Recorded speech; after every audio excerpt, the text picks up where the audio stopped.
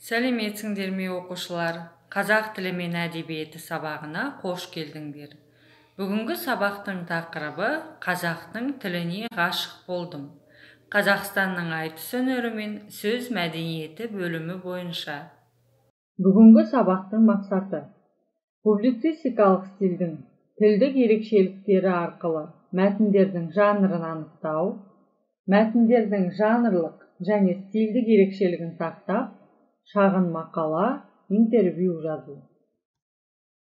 Жаңа сабақтың алдында өткен тақырыпты пысықтап өтейік балалар айтыстың түрлерін еске түсіреміз. Айтыстың неше түрі бар? Айтыстың түрлерін атап өтіңдер. Қанеки ойланайық. Жақсы енді өздеріңді тексеруге болады. Айтыстың жеті түрі бар. Жануарлар мен адамдар айтысы қыз бен жігіт айтысы өлі мен тірінің айтысы ақындар айтысы жұмбақ айтысы бәдік айтысы жар жар айтысы. Балалар жақсы сендердің де жауаптарың осындай болды деп сенемін. Қазақ айтыс өнерінде айтыскер ақындар өте көп. Айтыскер ақындар ішінде тіпті өзге ұлт өкілдері де кездеседі. Мысалы надежда лушникова. Ол айтыс ақыны қазақстан жастар одағы сыйлығының иегері қазақстанның еңбек сіңірген қайраткері. Атап өтсек ұлты орыс. Бүгінгі сабақта надежда лушникова жайлы ақпарат аласың. Тілдік ерекшеліктер арқылы мәтіндердің жанрын анықтайсың. Мәтіндердің жанрлық және стильдік ерекшелігін сақтап шағын мақала интервью жазасың. Еске түсіріп өтейік. Публицистикалық стиль бұқаралық ақпарат құралдар тіліне жатады. Публицистика қоғам өмірі үшін маңызды мәселелерді талқылау. Сұхбат. Ақпараттанған тұлғамен өткізілетін диалог мәселесін ұйымдастыру. Мақала ғылыми және публицистикалық стильмен жазылады. Автор өзі жазатын мәселені анық білетін және оны белгілі деректерге сүйеніп баяндай алатын дәрежеде болуы керек. Келесі орындайтын тапсырмаларың мынандай. Екі мәтінді оқып осының мәтіндердің жанрын анықтау. Дескрипторы мәтіндерді оқу тілдік ерекшеліктер арқылы мәтіндердің жанрын анықтау. Балалар мәтіндер сендердің оқулықтарының 120 бетінде орналасқан. Оқимыз айтыскер ақын надежда лушникова 1940 жылы алматы облысы қаскелең ауданында дүниеге келген. Қазақ мектебінде білім алып филология мамандығын меңгерген. Мектепте қазақ тілі қазақ әдебиеті пәндерінен 27 жыл сабақ берген ұстаз.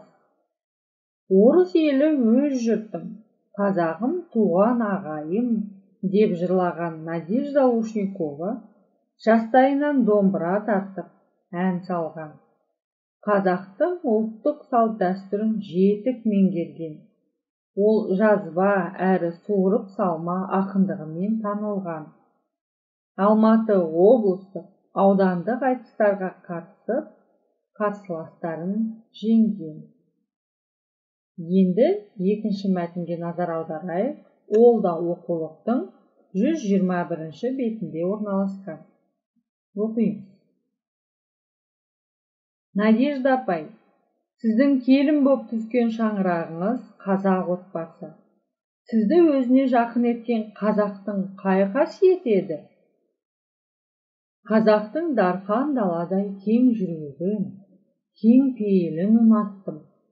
Туыстығын бауырмалдығын жақындаттым аңқылдаған көңілі мен кір шалдырмас ар ұятына тәнті болдым.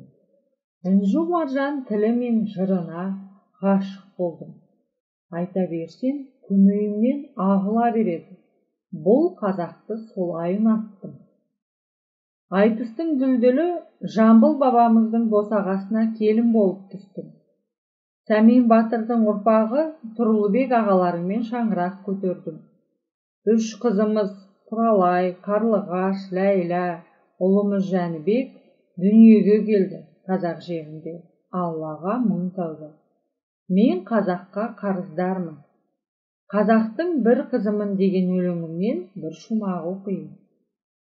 Қазақтың ауылының қызымын мен қырдағы бір құлпырып қызыл гүлмен. Ойнаймын самалымен кең даланың келемін кең далаға қызығумен. О дала сүйем сенің пейіліңді. Қашанда елің дархан жерің гүлді. Су себер қарлығаш боп қанатымен ауылдан әже таптым мейірімді. Бүгінгі айтыстың қоғамдағы мәселелерді шешуге қосар үлесі бар ма? Айтыс қазақ халқы үшін бөлінбес бір бөлшек. Әбден терең бойлап кеткен тамырдай. Айтыста үлкен мәселелерді көтереді. Қоғамның халыққа зиянды жақтарын ашық айтады. Нәтижесінде талқыға салып дұрыс шешім қабылданады. Міне айтыстың рөлі. Алладан тілеген тілектеріңіз қабыл болсын.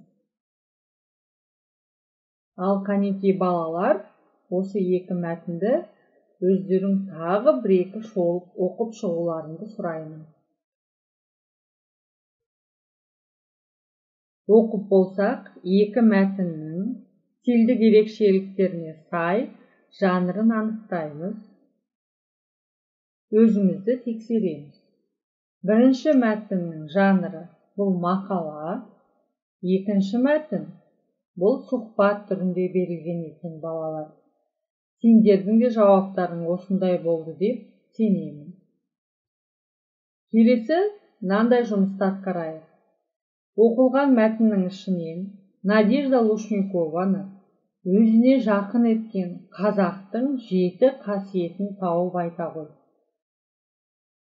қанекей мұқият мәтінді тағы бір қарап шығамыз.